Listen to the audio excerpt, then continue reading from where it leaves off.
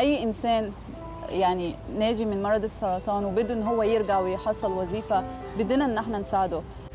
فكرة Pure Heart program عشان بدأت يعني مش بس فكرة يعني هو بالنسبة لي حلم لأن صارت من تجربة شخصية وبدأت سنة 2008 أم، شفت كيف الإنسان يعني حياته بتتغير في لحظة وبعد ما بيعدي مرحلة صعبة اللي هي فترة العلاج آه، بيكون عايز هو يرجع حياته الطبيعية تاني.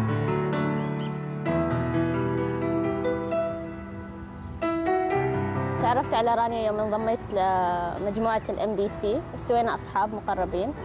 آه، وهي قالت لي عن فريق العمل الخيري اللي موجود في ال MBC والنشاطات اللي يقومون فيها من خمس سنين تقريبا بدأنا في MBC للأعمال الخيرية. بعدين انضمتنا رانيا اللي اقترحت من من فترة قليلة فكرة ال Pure Heart هي مسؤولة عن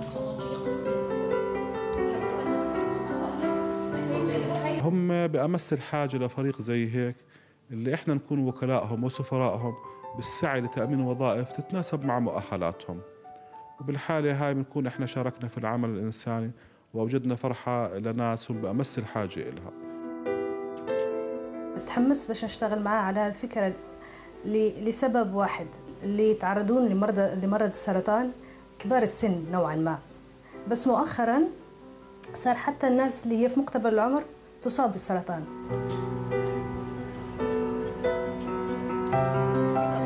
وبس عم آه، نساعد بشكل مادي عم نساعد بمرحلة صغيرة. لا نحن عم نخليهم هن يساعدوا حالهم بنفسهم. من خلال نشجعهم هن حتى يشتغلوا. كل إنسان مصاب وكل إنسان بيعدي بظروف صعبة.